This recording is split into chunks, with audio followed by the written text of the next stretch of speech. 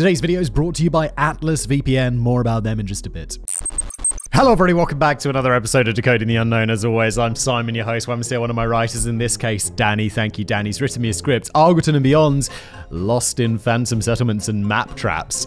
I don't know what a map trap is, but uh, and phantom settlements. Look, look, look, look. Thank you, Danny. Let's dive in. Let's see what it's all about, and uh, yeah, let's go.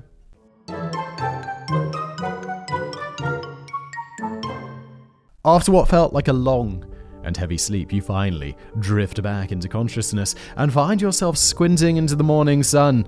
You appear to be lying down, fully clothed in a deserted field in the middle of nowhere. You've got a banging head, at least two black eyes, an empty wallet, and your clothes smeared in blood and vomit. Either you were attacked or you had a heavy night down the pub. What a night. More importantly, you've got absolutely no memory of the previous night and no idea where you are or how you got here. Again, still could be like head trauma or alcohol. That doesn't say much for alcohol, does it? It's like, what causes this like horrible situation? Well, it's either getting really drunk or massive head trauma. I really hope it's not me who had boozy nights out that ended exactly like this. I knew Danny was going towards the same joke as me. He just it just is there. It's easy pickings. It was different in the days before smartphones could track your location and Google Maps could give you a clue as to how to get home again. Back in the old days, you had to keep wandering around until you hopefully bumped into a farmer or a murderer who might be able to give you helpful directions. But let's say this happened to you in 2008. 2008 was I don't think they were quite smartphones, but there were. Do you remember what were they called? They were called like PDFs, not PDFs. PDAs? PDAs? Personal digital assistants, that's it. And they had kind of rudimentary GPS on them. Pretty sure that I had one of these around 2000. Yeah, 2008. I think so, definitely. Could be using, could have GPS on my person at that point. The GPS tracking on your phone has given you a good starting point. Okay, I guess these are more. Did I have an i? I don't think I had an iPhone until like 2010. That's when iPhone first came out, right? And you pulled up Google Maps to find a route home. You're apparently in a little town that goes by the name of Argleton, situated between the A59 road and the Town Green Railway Station, not too far away from the market town of Ormskirk in Lancashire, England. This itself is a little bit of a worry as you started your night out at the Aquabar and nightclub in Key West, Florida. It's going to be a long voyage back home. Oh my god.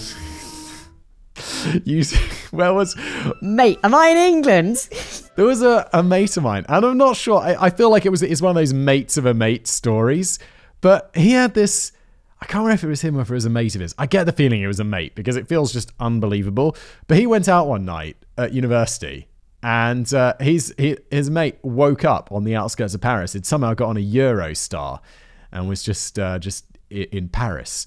And I was like, oh God. it's going to be enormously expensive to get a last minute Eurostar home. And also, how much was the last minute Eurostar last night?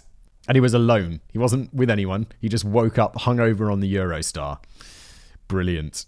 Still, let's not panic. A quick search online reveals that Argleton boasts a doctor's surgery, a golf club, a hairdressing salon, and much more besides. If only you had some money left, you could go and get a haircut and enjoy a quick round of golf with the natives while you try and figure out the details of your return journey. Can't say that that would be particularly high up my uh, to do list, Danny. More at my to do list would be why am I in England?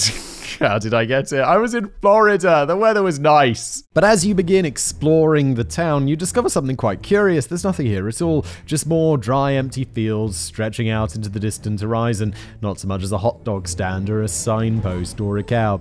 You don't realize it yet, but you are nowhere.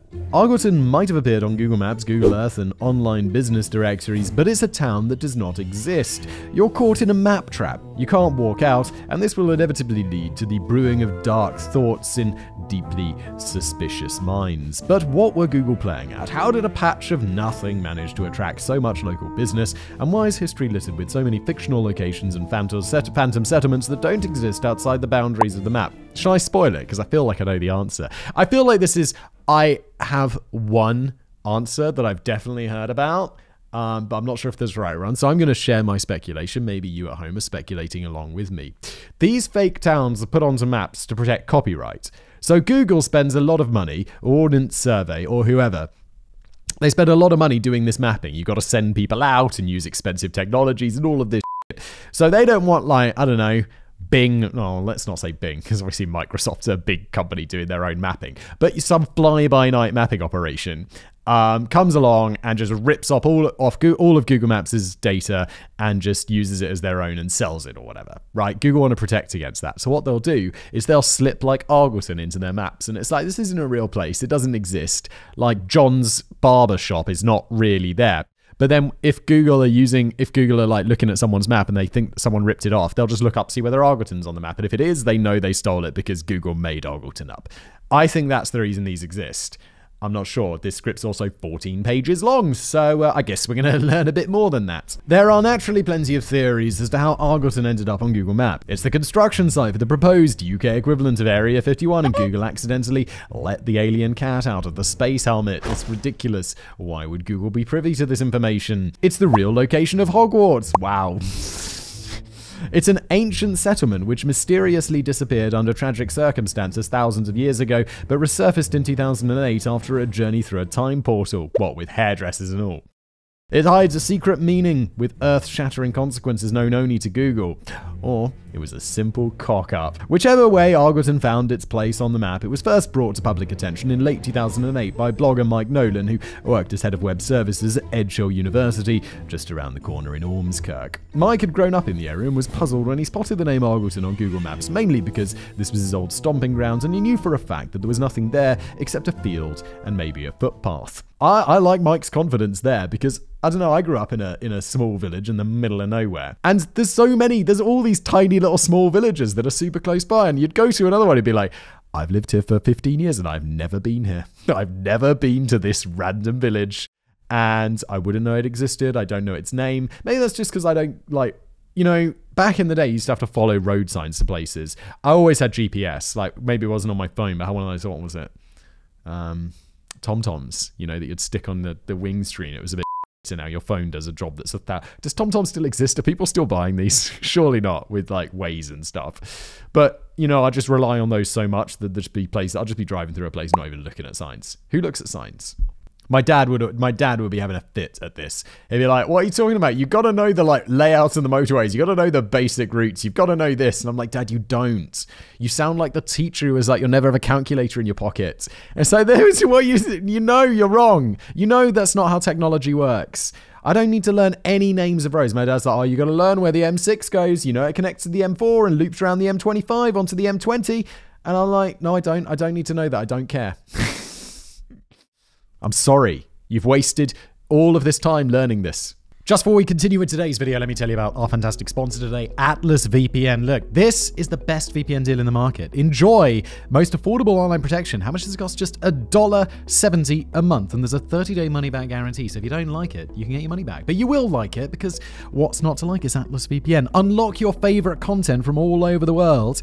Uh, my favorite example of this uh, I think there's actually restrictions on Star Trek. I was going to say The Office, US, is not available in the US, but you can watch that on European Netflix. So, you know, get an Atlas VPN, jump on over, and you'll get The Office, which I think you have to go to another streaming service to get that in America, which struck me as weird because it's like the American version of The Office. And I still think you can't get Star Trek and there's the full Star Trek library in Europe. Not sure about that one, can't guarantee it. Who knows? Also, you can keep your Google searches private, or if you're a weirdo and use some other uh, search provider, keep them private. I mean, incognito is not enough. That might hide them from uh, your browser history and stuff, but not from your ISP, not from your government if you live in one of those scary countries. Stop ads and malware is more than a VPN. It blocks all malicious links, ads, and trackers and notifies you when someone is trying to steal your data.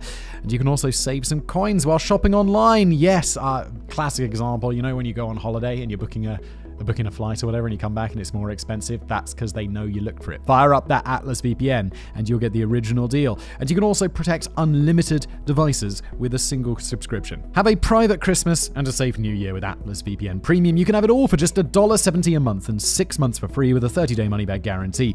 Click the link in the description below and grab this Christmas deal right now. Again, that's Atlas VPN Premium, $1.70 a month and six months for free with a 30 day money back guarantee. Click the link in the description below to get started. And now back to today's video. The following year, Mike's colleague Roy Bayfield, head of marketing at the same Edge Hill University, took it upon himself to go several steps further. With tongue firmly planted, planted in cheek, Roy made his way to the exact location referenced on the map and wrote an entertaining travelogue on his epic trip to the centre of Argleton, during which he tried to find hidden meanings in breathtaking sights such as some broken fencing which looked a bit like a rune. Roy later revealed, I started to weave this amazing fantasy about the place, an alternate universe, a Narnia like world. I was really fascinated by the appearance of a non existent place that the internet had the power to make real and give semi existence. End quote. Leaving aside the rune shaped fencing, clearly a throwback to the days when the town was populated by German dwarves versed in the dark arts of geometric magic, Roy actually found little more than a few empty fields and a footpath. Yet, lurking somewhere in these supposedly empty fields was a buzzing hotspot of local business enterprise. You see, Argleton appeared to expand from its humble roots on Google Maps as it made its leap into various online directories during 2008 and 2009. Aside from the aforementioned golf club, hairdresser's salon, and doctor's surgery, a quick search for Argleton would throw up a hotel, a local plumber, and a chiropractor. You could look for jobs in town and browse property that was available to buy or rent. You could even keep an eye on the weather forecast for Argleton after all, you don't want to be planning an afternoon golf with the local plumber and chiropractor if all you're just going to do is get caught in a typical Argleton hailstorm. But how did a phantom town manage to drum up so much commercial activity? Were all the businesses just as fictional as the place? Well, that's one mystery we could solve straight away. The listed businesses, including Hope Street Hotel and Mossock Hall Golf Club, are very much real. They're just not in Argleton. Wow, I just totally expected them to be made up. Really? Some breeds of business software and online information services extract crucial data from Google, and in this case, the name of the town, along with the genuine L39 postcode, had been lifted from the map and matched up with businesses and online services which shared the same postcode. So, any online search queries related to Argleton would often throw up results relating to businesses and property and weather forecasts within that genuine postcode, even if they all fell outside of the silent, empty fields of the town that never was. If an Argleton resident is ever in need of a good local plumber or chiropractor, they're kind of screwed. Well, good news, they're not because they're not really there. So this is basically, there's a, if I'm understanding this right, there's like a chiropractor, which, why? my uh, like chiropractors notoriously notoriously litigious so i'm not going to share my opinion on chiropractors you can probably guess what it is well, it's just an opinion for one. But uh, yeah, chiropractors, please. Um, so there'll be the chiropractor. It'll be located somewhere, and this you know, Google Maps will be like, oh, because Argleton's this fake town that somewhere exists, they'll be they'll be just like, well, it's closest to this place, so they mash it in together and then it gets picked up by a business directory. Am I understanding that right? I think so. Still, after the story was picked up by the global media, the town generated a very real interest in merchandising opportunities online. By the end of 2009, you could buy a wide range of Argleton products, including t shirts which bore the slogan, I visited Argleton and all I got was this lousy t shirt. How original. A comical website was set up, Argleton.com, which suggested that it was run by the forgotten citizens of the town who were now being widely dismissed as a figment of mapmakers' imagination and who were angrily demanding back their identity. I love how much time the internet has. Like, people have enough time to just. What are you up to? do you not have a job? What's going on in your life that you have time to do this? The site delved into the fictional backgrounds of the town, took a look at some of the most famous Argletonians from history, and dished up spoof news stories along the lines of last remaining Woolworth store still going strong in Argleton. That is a very niche British joke. Woolworths was the. I never understood Woolworths. It was a store that would sell, or you could buy a knife, or you could buy some pick and mix sweets. Woolworths was bizarre, and that's why it doesn't exist anymore anymore because no one's like no one goes to stores like this. They just well everyone shops online, but you you know you go to short stores that sell random shit stores just don't work, do they? Meanwhile, the Stanley Arms pub near Ormskirk joined in the fun by serving Argleton ale to tourists. The landlord refused to reveal the source of the ale, but hinted that the deliveries just magically appeared around the back of the pub every Monday morning. The Stanley Arms also added Argleton pie to the lunchtime menu, a dish notable for its unusual ingredients, which were cheekily listed as nothing at all. But whilst the idea of an invisible town was raising a few giggles and flogging a few t-shirts, the mystery still remained as to why exactly Google had started populating its maps with places that don't even exist. I, I, I think I'm just, we're winding round through many, many pages to what I think was my correct answer that I guessed earlier. We'll take the long drive back to Argleton in a little bit to try and shed more light on the mystery, but I thought it would be nice to, to take the scenic route and to spend a little time visiting other places that don't exist along the way. This is certainly not the first time in history that misleading maps have pointed everyone in the wrong direction by creating locations which are pretty tricky to track down in real life. It's one thing for a fictional location to make a brief appearance on a map in cyberspace, but it's another entirely when the fictional location finds itself printed on hundreds of commercial maps for the best part of a century. And that was the case with the mountains of Kong. really? Where are these mountains? If you pick up any map of Africa produced between 1798 and 1888, there's a good chance you'll spot the mountains of Kong on there, stretching from West Africa near the source of the Niger River in Tambacounda in Guinea, all the way to the Central African Mountains of the Moon, which doesn't exist either, but let's not get bogged down with confusing trivial details. The snow capped mountains of Kong were said to boast foothills glistening with gold. This should perhaps serve as a big clue that they were not really there.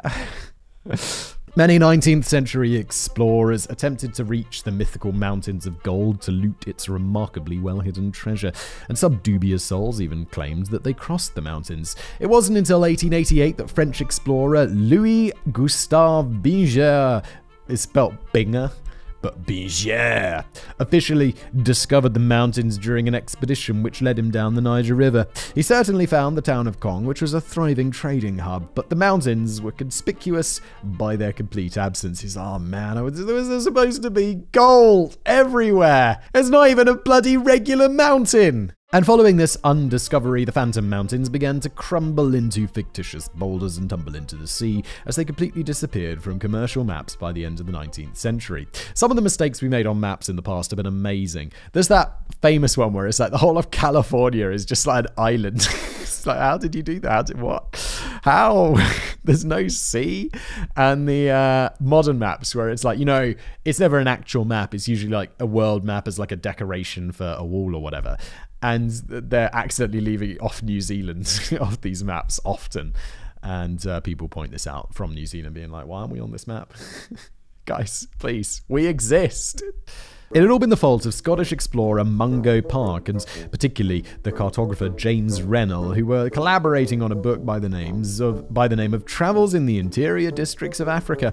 The book revealed the epic tale of Mungo's expedition to West Africa, during which he was told of the existence of the mountains. In his own words, to quote, "People informed me that these mountains were situated in a large and powerful kingdom called Kong." End quote. Now, it's worth emphasizing that he never actually claimed to have explored the mountains or even seen a glimpse of them from afar.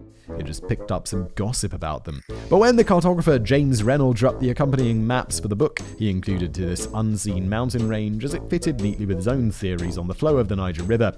James couldn't understand why the river didn't flow south of the Gulf of New Guinea, and he assumed it was because there was a load of mountains in the way, dripping with gold. It was Mungo's name that was slapped on the cover of the book, so he must surely have given the thumbs up on the map design. Um, yeah, but this was also the past where like history and like fiction and non-fiction just blurred together a lot more than we allow for today, despite fictional authors being like, all things included in this book are fact. And it's like, yeah, but are they, Dan? Are they really? Both Mungo and James were so highly respected that nobody seemed to question their made up mountains for nearly a hundred years until Louis Gustave Binger finally set the record straight. Yet they didn't disappear completely. In 1928, they mysteriously re-emerged in John Bartholomew's Oxford Advanced Atlas, while they also made a surprise guest appearance in Goode's World Atlas, published in 1995. That is not that. That is how long ago is 1995? 30 years ago, nearly 30 years ago. That's was did Google Maps exist? No, Google Maps definitely didn't exist then. But like there were proper maps people the world had been explored. There were definitely satellite maps. People had been to space. Sandy Island is another fictional location which has been making regular appearances on maps since the 18th century, despite the fact that its existence was largely discredited in the 1970s. Indeed, it was still being shown on Google Maps as late as 2012. is that an inside joke or is that like actually mistakes being made until as little as a decade ago? The body of land out there in the eastern Coral Sea was meant to be around 3 miles wide and 15 miles long, and it was sandwiched midway between Brisbane in Australia and New Caledonia. Sandy Island was first supposedly spotted in 1772 by explorer Captain James Cook, but didn't find its way onto British, American, and Russian maps until the turn of the 20th century, after its existence had been confirmed by British sailors on board the whaling ship Velocity in 1876. Now, it's possible that Captain Cook and those sailors may have been knocking back too much rum and ended up losing their bearings. Yeah, I don't think this. I don't think this is like them making it up right? It's just they make some mistake. You know when Columbus is like, I found India! And it's like, mate, you're a little bit off on that one. Or it could have been a simple navigational error, as positioning at sea was obviously a bit more primitive and not entirely reliable back then. Perhaps it's more likely that they all were actually observing the floating remains of submerged volcano and took it for an exotic island. But some people had lost faith in the existence of Sandy Island by the 1970s, largely because it had not been spotted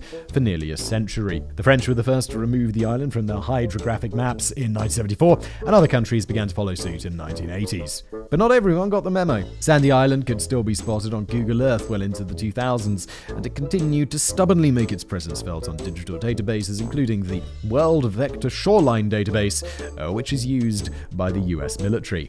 I feel like, uh, like jokes can go on Google Maps, but US military, they're probably going to be like, we need accurate maps because we're not trying to find our way to grandma's house. We're trying to invade a country. I mean, free. Free a country from its oppression. It seems that at some point during the conversion from hard copy maps to digital maps, an outdated physical map, which still displayed the fake islands, was erroneously used, giving a new digitized leaf on, lease on life to the Nowhere Island. Yeah, and if Google says it's there, it's fucking there. Like, I don't care what anyone says. I don't care if you're using your.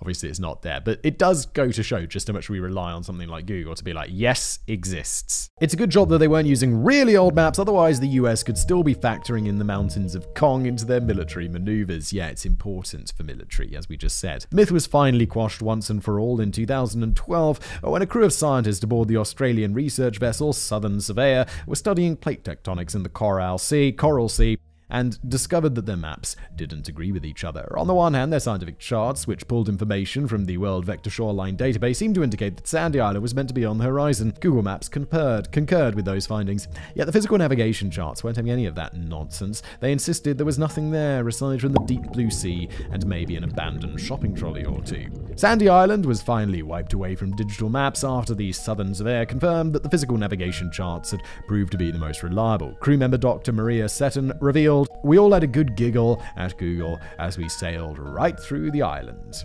Some maps are the result of people just clearly pissing about. Two new towns suddenly popped up out of nowhere on the 1978 to 1979 edition of the official state map of Michigan. The curiously named towns of B- Botasu and Goblu had been planted not in Michigan itself, but just over the border in neighboring Ohio, and this raised a few quizzical eyebrows in both states as neither town had existed in the 1977 to 1978 edition. That was the edition the previous year. There were a couple of odd things about the new towns. The names weren't capitalized like every other location on the map, and there were no specific markers or boundary lines to ascertain their precise location. But the oddest thing of all is that the cartographers had actually been under strict instructions to include the fake towns purely to piss off supporters of the Ohio State football team. Okie dokie. Peter Fletcher was a lifelong resident of, oh my lord, how do you say that? Why It's spelled Y P S I L A N T I. Ypsilanti? Who puts a Y and a P together, America? That's not okay. In Michigan, with a, ma- a, massive supporter of the Wolverines, the football team representing the University of Michigan, who enjoyed a fierce rivalry with the Buckeyes, the team representing Ohio State University. Peter was also an entrepreneur, a Republican activist, and more significantly, he was chairman of the Michigan State Highway Commission, who had a personal say in what exactly appeared on official maps. The towns of Botasu and Goblu were nothing more than a cheeky dig at his football team's arch rivals. Goblu was a reference to the chant Go Blue, which echoed around the stadium in support of the blue shirts of the Wolverines, whilst Botasu simply stood for Beat Ohio State University. I mean, okay. this is like, dude. Again, it's we found someone who just has too much time on their hands. Yeah, lucky bastard. Many Ohio residents expressed their distaste for the gag and demanded a corrected reprint. And even some Michigan residents complained that it was a waste of taxpayers' money to print up 3 million of these mirthful maps. Well, they were printing the maps anyway, so unless they're going to reprint everything, and, and, in that case, I'll be like, yeah, it's a huge waste of money. You shouldn't have done that. And he, the guy who did this should be fired because that's uh, how much is it per map? It's going to be a lot of money. It's going to be a lot.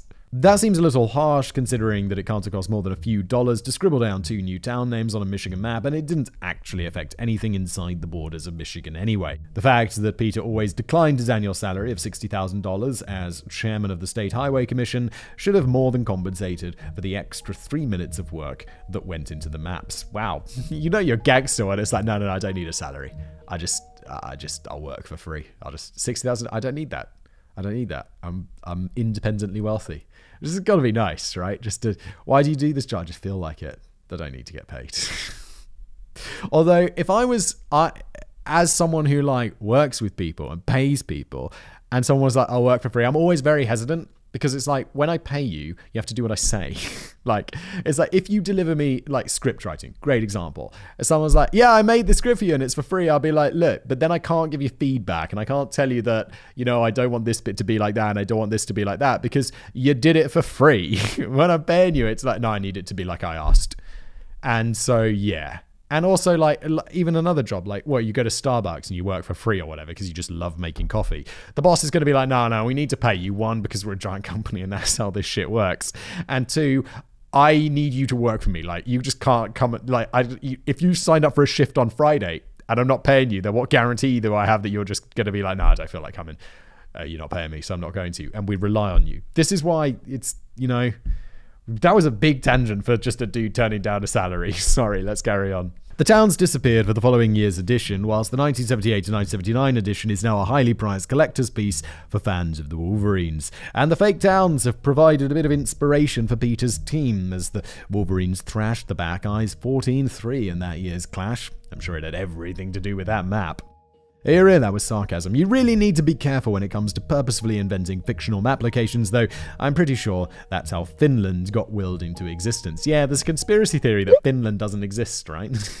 Is it Finland? I think it's Finland. On a slightly more disturbing note, it was practically impossible for a citizen of the Soviet Union to buy a local map that made any kind of sense between the late 1930s through until 1988. Yeah, the Soviets were famous for messing around with the maps and that's because the map information was deliberately falsified for a period of over 50 years. Only the military were allowed to get their hands on real maps, while everybody else had to make do with comedy concoctions that were about as useful as an ashtray on a motorbike. There was a reason behind the deception. The Soviets were so worried about the threats of aerial bombing and enemy intelligence operations that they placed cartography under control of the security police. The cartographers were instructed to distort boundaries, miss out significant geo- geographical features, move rivers and roads around a bit and fabricate entire streets all in the name of protecting the motherland. Sounds like the perfect job for the creatively frustrated cartographer who missed out on his true vocation of designing fantasy maps for Dungeons and Dragons campaigns. To be fair, it proved to be a pretty effective strategy. During the Second World War, General Gunther Blumentritt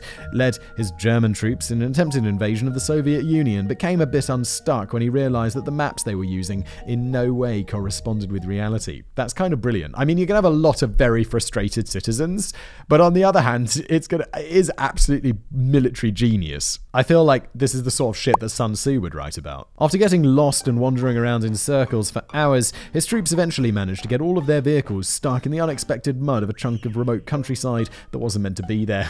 On the map, really hard road, excellent for invading. Reality, marshland. The problem is that tourists and citizens were also getting hopelessly lost for 50 years, and it makes you wonder why the Soviet Union even bothered to continue producing maps at all. American diplomats and journalists, well, because it's kind of propaganda, not propaganda, um, deception. Because it's like, if uh, American spies manage to get their hands on Soviet maps or just buy Soviet maps off like map shops or whatever, dot I'm trying to think. What would the domain? Be? Did the Soviet Union ever have a domain? Shit, it, Internet 1990. Yeah, probably did, right? That's pretty wild. I wonder what that was. .su? Probably .su. That's crazy. Never even thought about that.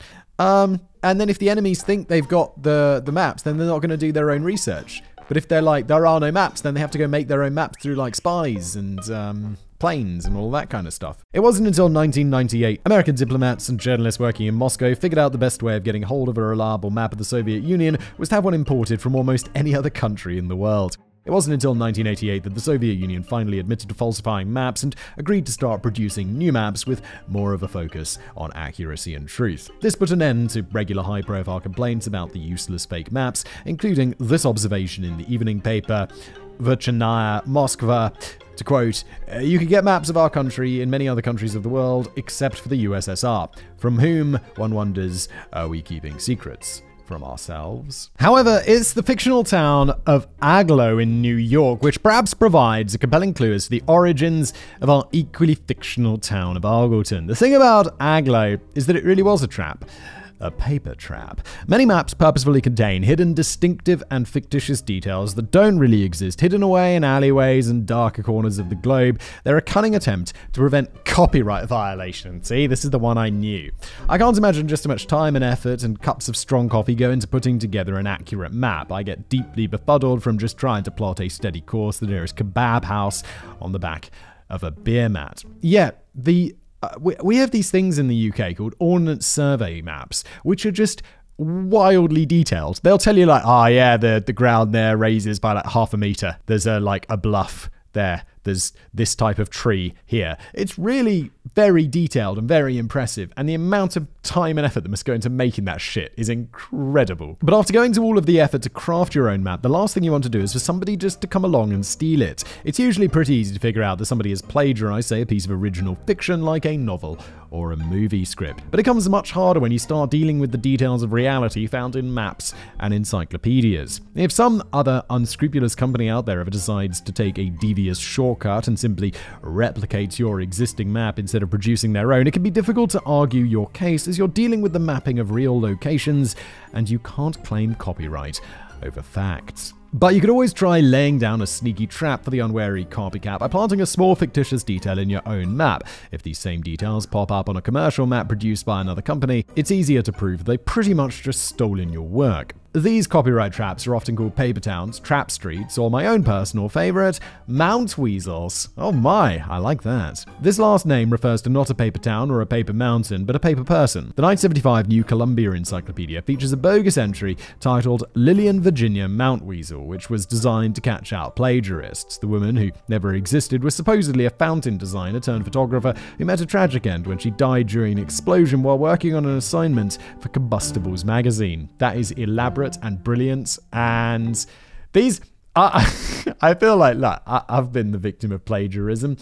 And I feel like this would be quite fun to include just these extra details, except on YouTube. The comments will be like, Simon, what are you talking about? It never happened like that. That's not real because the internet, there's comments. Not many map producers openly admit to using trap streets in their work, although it's alleged the popular publications such as London's A to Z Street Atlas contain no less than 100 different traps in just a single city. But when I first heard about this, I started to feel a little concerned. Couldn't these paper towns potentially lead to a complete confusion at best and outright danger at worst? Um, isn't it normally it's not like it'd be unusual for them to do a whole town. It'd be like okay so this back street doesn't exist or it says there's a payphone there when there's not really a payphone.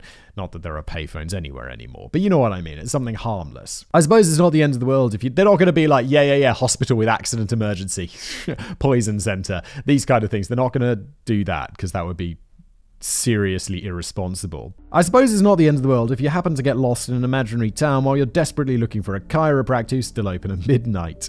But imagine if you were trying to rush your pregnant wife to hospital and you ended up accidentally taking a wrong turn into the canal. Or imagine if you called the emergency services for urgent assistance, but after consulting a map of lies, you tell them that you'll be waiting on the corner of Cock and Bull Lane in the village of Wonky Chicken. It might take them a very long time to reach you. I was amazed the other day um, a couple of months ago, actually, had a car accident, and apparently, like, I don't, I don't know this. I'd never really been in a car accident before. It was very minor, but apparently, you have to phone the police.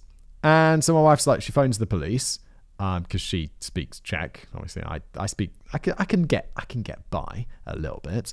Um, but so she phones the police, and she's like, okay, I'm just gonna, you know, they're like, where are you? She, or no, they don't ask where she is. They're like, are you standing outside this like number? Like on the street. It was insane. Like, it was like, yes, that is exactly where I'm standing. And they know it within seconds. So are they looking at the GPS in your phone? Or are they like getting it some other way? Because it's just like, I was amazed at how they can pinpoint your location so precisely. It freaked me out. And then they were like, yeah, we'll be there in like an hour. oh, brilliant. Thanks. So just standing around with two kids going crazy while the police come up to take photos and shit. And I'm like, it's not even that bad. I don't understand why you have to do this. Well, apparently this should never happen as the traps are usually more subtle than that. Instead of fabricating entire streets and villages and towns and countries, the sensible map makers are content to plant their small copyright traps in alleyways or dead-end streets or somewhere completely out of the way. Some of the traps will be as small and discreet as an extra cul-de-sac or an exaggerated bend in a road. Just something that will be distinctive enough to prove plagiarism but not a big enough part but not big enough to get their customers walking into walls or falling down wells. Yet some map makers have been known to take things a little too far. And in the case of the paper town of Agloe in upstate New York, a well prepared trap didn't quite spring as planned. The town of Agloe first appeared on road maps in 1937. In reality, the location was nothing more than a desolate dirt track which sat between the town of Rockland and the Beaverkill River. Jesus, the river's called Beaverkill. But on paper, this small stretch of nothing had been given the name Agloe by the major map makers, General Drafting Company. It had been decided that this was a perfect spot to drop a copyright trap, which was named after the initials of the company's director and his assistant, Otto G. Lindberg and Ernest Alpers. This fake town was still appearing exclusively on General Drafting Company road maps by the 1950s, at which point the famous map company Rand McNally appeared to fall right into the trap. They produced a new map of their own, which included the phantom town of Agloe. The lawyers for the General Drafting Company must have been rubbing their hands with glee. If you know these things exist, why would you copy someone's map? Because you're going to get caught. This was surely an open and shut case. Rand McNally had been caught red handed, and now these blatant copyrights would have to give a, cough up a small fortune for daring to venture into a town that was created by their competitors. Or at least, that's what you would think, but Rand McNally completely got away with it. Okay, never mind, to take it all back. A few years after the General Drafting Company first put Agloe on the map, a fishing lodge had popped up near that desolate dirt track, which had proudly been christened Agloe Lodge. And by 1950s, a new store had apparently opened on the location, and this business very briefly traded under the name Agloe General Store. I say very briefly because it didn't stay open very long at all, possibly because the owner had foolishly decided to open a general store slap bang in the middle of nowhere. In both cases, the proprietors had apparently picked up a general drafting company map from their local Esso gas station and decided to name their new business ventures after the relevant location, labeled clearly on the map. Rand McNally claimed that when they were drafting their own map, they'd noted the names of businesses operating in the area and concluded that Agloe must indeed